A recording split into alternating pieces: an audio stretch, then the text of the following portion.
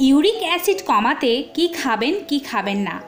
বর্তমানে uric acid নামটির সাথে আমরা সবাই কম বেশি পরিচিত। রক্তে ইউরিক অ্যাসিড বেড়ে গেলে তাকে হাইপার ইউরিসিমিয়া বলে। ইউরিক অ্যাসিডের প্রায় দুই তৃতীয়াংশ আমাদের দেহেই প্রাকৃতিকভাবে তৈরি হয়। বাকিটা আসে আমাদের খাদ্য থেকে, বিশেষ করে পিউরিন সমৃদ্ধ খাদ্য থেকে। কেননা পিউরিন ভেঙেই আমাদের শরীরে ইউরিক অ্যাসিড তৈরি হয়। আজকে আপনাদেরকে জানাব ইউরিক অ্যাসিড থাকলে কোন কোন খাবার মোটেও খাওয়া উচিত না, আর খাদ্য তালিকায় রাখবেন কোন খাবারগুলো। আমাদের শরীরে স্বাভাবিকভাবে একটা নির্দিষ্ট পরিমাণে ইউরিক অ্যাসিড থাকে, কিন্তু ঝামেলা বাঁধে তখন যখন কিডনি অতিরিক্ত ইউরিক অ্যাসিড শরীর থেকে বের করে দিতে পারে না। কিংবা দেহে অতিরিক্ত ইউরিক অ্যাসিড জমতে শুরু করে। তখন এই ইউরিক অ্যাসিড ক্রিস্টাল আকারে দেহের বিভিন্ন অস্থিসন্ধি বা জয়েন্টে জমতে থাকে। ফলে আক্রান্ত ব্যক্তির শরীরে বিভিন্ন জয়েন্টে মাঝারি থেকে তীব্র ব্যথা, ফুলে যাওয়া, লাল হওয়া এবং যন্ত্রণা অনুভব করে থাকেন। অনেকের ইউরিক অ্যাসিড বেড়ে গেলে মেডিসিন গ্রহণ করার পরেও ব্যথা ও যন্ত্রণার তীব্রতা কমে না। এর কারণ হলো, ইউরিক অ্যাসিড কমানোর জন্য মেডিসিনের পাশাপাশি সঠিক খাদ্য গ্রহণ করা হয় না। যেসব খাবার খেলে ইউরিক অ্যাসিড বেড়ে যায় বা বেড়ে যাওয়ার সম্ভাবনা থাকে, সেগুলো হচ্ছে পিউরিন সমৃদ্ধ খাবার। সেই খাদ্য তালিকা মেনে খাবার না খেলে ইউরিক অ্যাসিড আপনার কমবে না। আপনি যতই মেডিসিন খান না কেন, আপনার জয়েন্টে ব্যথা, গেটে বাত, শরীরের বিভিন্ন জায়গায় ব্যথা, বিশেষ করে আঙুলের জয়েন্টে জয়েন্টে যে ব্যথা হয়, সে ব্যথা প্রচণ্ড আকার ধারণ করবে। Hello viewers welcome to my channel perfect tips by Labani সকলের কাছে অনুরোধ থাকবে আপনারা যারা আজকে আমার এই চ্যানেলে নতুন, তারা অবশ্যই এমনই তথ্যবহুল ভিডিওগুলো পেতে আমার চ্যানেলটি সাবস্ক্রাইব করে পাশে থাকা বেল আইকনটি ক্লিক করে অল বাটনে ক্লিক করে দেবেন। এতে করে আমি যখনই কোনো ভিডিও আপলোড করব, সবার আগে নোটিফিকেশন আপনাদের কাছেই পৌঁছে যাবে। আমি পূর্ণ খাবারের তালিকা দেওয়ার চেষ্টা করেছি ইউরিক অ্যাসিডের জন্য। আপনারা যদি ইউরিক অ্যাসিডে ভুগে থাকেন বা কষ্ট পেয়ে থাকেন, কষ্ট করে হলেও এই খাবারের তালিকা আপনাদেরকে মেনে চলতে হবে। তো চলুন শুরু করা যাক।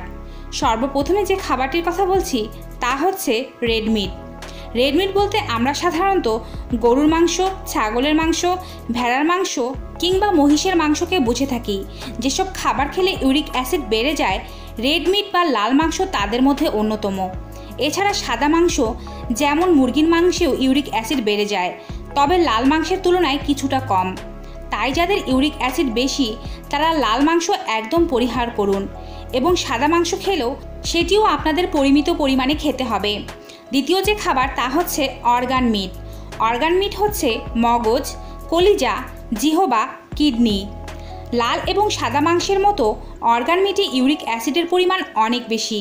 তাই এগুলো আপনার যতই প্রিয় হোক না কেন, আপনার দেহের ইউরিক অ্যাসিডের মাত্রা ঠিক রাখতে আপনার খাদ্য তালিকা থেকে অর্গান মিট জাতীয় খাবারগুলো বাদ দিতে হবে। সেটা যে কোনো পশুরই হতে পারে। গরু, ছাগল, ভেড়া, মহিষ এবং হাঁস ও মুরগির অর্গান মিট, এগুলো খেতে অনেক সুস্বাদু বলে অনেকে শখ করে খেয়ে থাকেন। তবে ইউরিক অ্যাসিডের রোগীরা এই খাবারগুলো পুরোপুরিভাবে পরিহার করা উচিত।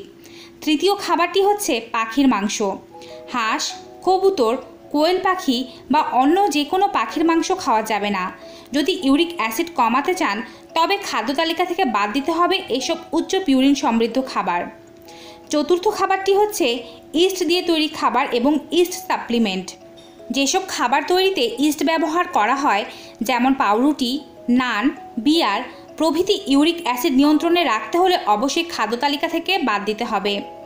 অপরপক্ষে সব ধরনের ডাল এবং ডালের তৈরি খাবার যেমন পেঁয়াজু, বেগুনি, ফুচকা, চটপটি, খিচুড়ি এসব খাবার মুখরোচক হলেও ইউরিক অ্যাসিড কমাতে বা ইউরিক অ্যাসিডকে লাগাম দিতে এসব খাবার বাদ দিতে হবে। পঞ্চম খাবার হচ্ছে পিচ্ছিল খাবার। পিচ্ছিল সবজি, ঢ্যাঁড়স, কচুরলতি, কচুরমুখী পুঁই শাক প্রভৃতি সবজি স্বাস্থ্যের জন্য ভালো হলেও ইউরিক অ্যাসিডের লেভেল ঠিক রাখতে এই সবজিগুলো বাদ দিতে হবে। এছাড়া ফুলকপি, মাশরুম, পালং শাক, শিম, মটরশুঁটি, বেগুন খাদ্য তালিকা থেকে বাদ দিতে হবে। অথবা যদি খেতেও চান, খুবই সীমিত পরিমাণে গ্রহণ করতে হবে। যতদিন পর্যন্ত না আপনার ইউরিক অ্যাসিডের মাত্রা নিয়ন্ত্রণে আসছে, ততদিন পর্যন্ত আপনাকে নিয়ন্ত্রিত মাত্রায় খেতে হবে, একেবারে না খেলেই সবচেয়ে উত্তম। ছয় নম্বরে আছে বাদাম অথবা বিচি জাতীয় খাবার। শিমের বিচি, কাঁঠালের বিচি, বিভিন্ন ধরনের বাদাম বাদ দিতে হবে ইউরিক অ্যাসিডের মাত্রা স্বাভাবিক রাখতে। এগুলো প্রচণ্ড পিউরিন সমৃদ্ধ খাবার, যা আমাদের শরীরে গিয়ে ইউরিক অ্যাসিডের মাত্রা বাড়িয়ে দেয়। সপ্তম খাবার হচ্ছে সামুদ্রিক মাছ, চিংড়ি, কাঁকড়া, মাছের ডিম ইত্যাদি। যে কোনো ধরনের মাছ, যেটা সামুদ্রিক মাছ হোক বা মিঠা পানির মাছ হোক, এতে পিউরিনের পরিমাণ অনেক বেশি থাকে। তাই এই সামুদ্রিক মাছ, শামুক, ঝিনুক, চিংড়ি, কাঁকড়া, মাছের ডিম, এসব খাবার তালিকা থেকে বাদ দিতে হবে যদি আপনি আপনার ইউরিক অ্যাসিড নিয়ন্ত্রণে রাখতে চান। অষ্টম খাবার হচ্ছে সুগারি এবং বেভারেজ ফুড, যেমন কেক মিষ্টি, ফলের রস, পেপসি, কোক প্রভৃতির কারণে ইউরিক অ্যাসিড বেড়ে যাওয়ার সম্ভাবনা থাকে। ফলে খাদ্য তালিকা থেকে বাদ দিতে হবে অতিরিক্ত মিষ্টি খাবার ও বেভারেজ খাবার। নবম ও সর্বশেষ হল হাই ফ্রুক্টোজ বা অতিরিক্ত মিষ্টি ফল এবং খাবার। যেসব ফলে বা খাবারে ফ্রুক্টোজ বেশি থাকে, সেসব খাবার ইউরিক অ্যাসিড কমার ক্ষেত্রে বাধা সৃষ্টি করে।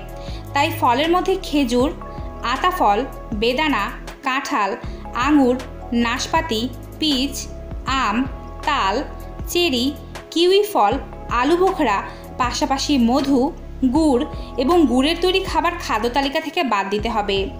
এবারে আপনি ভাবছেন, সবই তো খাদ্য তালিকা থেকে বাদ দেব, তাহলে খাবোটা কি? সারা জীবনের জন্য আপনাকে এসব খাবার কিন্তু আপনার খাদ্য তালিকা থেকে বাদ দেওয়ার কথা বলা হচ্ছে না। যেহেতু অসুখটি আপনার কষ্টে আপনি ভুগছেন। ইউরিক অ্যাসিডে যারা ভুগে থাকেন, তারাই জানেন এর যন্ত্রণা।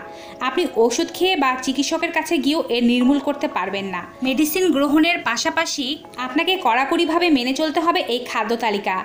শুধুমাত্র ইউরিক অ্যাসিডের লেভেল কমে যাওয়া পর্যন্ত। কমে গেলে আপনি এগুলো খেতে পারবেন, তবে নিরাপদ মাত্রায়। এবারে বলি কোন কোন খাবার ইউরিক অ্যাসিডে বেশি করে খেতে হবে। সঠিক পরিমাণে পানি। বিশুদ্ধ পানি যেমন আমাদের শরীর থেকে টক্সিন বের করে দেয়, একইভাবে সঠিক পরিমাণে পানি পান করলে অতিরিক্ত ইউরিক অ্যাসিড শরীর থেকে বের হয়ে যায়। সুতরাং আপনি আপনার শরীরের ওজন ও উচ্চতা অনুযায়ী পানি পান করবেন। অন্তত পক্ষে দশ থেকে বারো গ্লাস পর্যন্ত পানি আমাদের শরীরে প্রতিদিন প্রয়োজন পড়ে। এই পানির মাধ্যমেই বেরিয়ে যাবে অতিরিক্ত ইউরিক অ্যাসিড। দুই নম্বরে বলছি, ফাইবার সমৃদ্ধ খাবার। ইউরিক অ্যাসিডের মাত্রা কমাতে ফাইবার সমৃদ্ধ খাবারের কোনো জুড়ি নেই। তাই নিয়মিত খাদ্য তালিকায় রাখুন গোটা শস্য, শাকসবজি, ফলমূল, ওটস এসবগুলোর ভুসি। ইউনিভার্সিটি অব ম্যারিল্যান্ড মেডিকেল সেন্টারের এক গবেষণায় দেখা গেছে যে, নিয়মিত ফাইবার সমৃদ্ধ খাবার খেলে ইউরিক অ্যাসিডের মাত্রা কমে যায়। মূলত ডায়েটারি ফাইবার ব্লাড স্ট্রিমে থাকা অতিরিক্ত ইউরিক অ্যাসিড দেহ থেকে বের করে দিতে সাহায্য করে।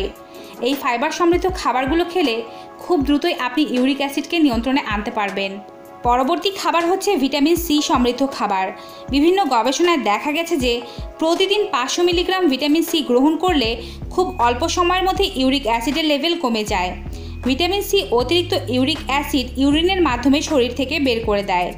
সুতরাং ইউরিক অ্যাসিড কমাতে লেবু, কমলা লেবু, আমলকি, আমড়া, পেয়ারা, কমলা বেশি বেশি পরিমাণে খেতে পারেন। এই ভিটামিন সি যুক্ত ফলগুলো এমনিতেও আমাদের শরীরের রোগ প্রতিরোধ ক্ষমতা বৃদ্ধি করতে সাহায্য করে। এই টক জাতীয় ফলগুলো নিয়মিত আপনার খাদ্য তালিকায় রাখুন। তারপরের খাবারটি হচ্ছে আনারস। ইউরিক অ্যাসিড কমাতে আনারস খুবই কার্যকরী ভূমিকা পালন করে। মানবদেহের জন্য প্রতিদিন যে ভিটামিন প্রয়োজন বা ভিটামিন সি এর দরকার, তার একশো ভাগই পূরণ করতে পারে এক কাপ আনারস। অন্যান্য ফলের তুলনায় আনারসে ফ্রুক্টোজের পরিমাণ অনেক কম থাকে। তাই বাড়তি চিন্তা করার কোনো দরকার নেই। এছাড়া আনারসে রয়েছে ব্রোলামিন নামক অ্যানজাইম যা প্রদাহ কমাতে সাহায্য করে। সুতরাং যারা ইউরিক অ্যাসিড কমাতে চান, তারা প্রতিদিন কিছুটা হলেও আনারস খান। এরপরে খাবেন লো ফ্যাট মিল্ক টক দই এবং ডিম। হাইপার ইউরেসেমিয়া কমাতে এবং সেই সঙ্গে প্রোটিনের চাহিদা পূরণের জন্য বেছে নিন low fat milk low fat দই এবং কুসুম ছাড়া ডিম। আপনি যেহেতু মাংস খেতে পারছেন না, অর্গান মিট খেতে পারছেন না, এমনকি মুরগির মাংসও খেতে পারছেন না, স্বাভাবিকভাবে আপনার শরীরে প্রোটিনের অভাব দেখা দিতে পারে। তাই আপনি কুসুম ছাড়া ডিমের সাদা অংশ খেয়ে নিন আপনার যতটা ইচ্ছা। এছাড়াও লো ফ্যাট মিল্ক ও লো ফ্যাট টক দই আপনার শরীরে প্রোটিনের চাহিদা পূরণ করতে সাহায্য করবে। পরবর্তী খাবার হচ্ছে অলিভ অয়েল আপনার রান্নায় অবশ্যই পরিমিত পরিমাণে তেল ব্যবহার করবেন। আর রান্নায় ব্যবহার করুন অলিভ অয়েল অলিভ অয়েলে থাকা অ্যান্টিঅক্সিডেন্টে রয়েছে প্রদাহ বিরোধী উপাদান, যা অতিরিক্ত ইউরিক অ্যাসিড সৃষ্টি হতে বাধা দিয়ে থাকে। সর্বশেষ খাবার হচ্ছে আপেল। আপেলে থাকা malic acid uric acid neutralised করতে সাহায্য করে। তবে আপেলেও ফ্রুক্টোজের পরিমাণ বেশি থাকায় খুব বড় সাইজের নয়। প্রতিদিন খাবার পর ছোট একটি আপেল রাখুন আপনার খাদ্য তালিকায়। সুতরাং ইউরিক অ্যাসিড কমাতে চাইলে এই নির্দেশিকা আপনাকে মেনে চলতে হবে। ইউরিক অ্যাসিড বেড়ে গেলে যেটাকে আমরা বলি গেটে বাত এই গেটে বাতের কিছু লক্ষণ আছে যা আমাদের শরীরে প্রকাশ পায়। আসুন আমরা জেনে নেই। শরীরের জোড়া স্থানগুলো ফুলে যায়, লাল হয়ে যায় এবং যন্ত্রণা করে।